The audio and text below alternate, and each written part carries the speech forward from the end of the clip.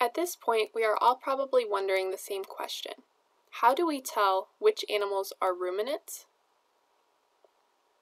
and which animals are non-ruminants?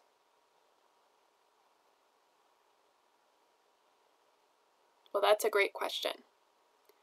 Ruminants are any animal that has a four compartment stomach. They can also digest cellulose. These are classified into three categories. Concentrate selectors are very picky on what types of plants they will eat and include giraffes and deer. Intermediate feeders are still pretty selective on what they will eat, but they're more likely to eat thorny bushes and shrubs as well. These include animals such as sheep and goats. Roughage grazers are the third category, and they will eat about any type of plant. These animals are cattle and bison.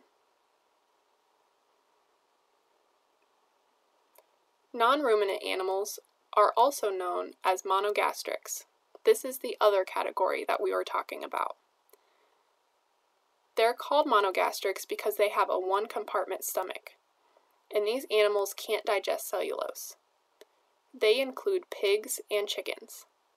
Humans are also non ruminants.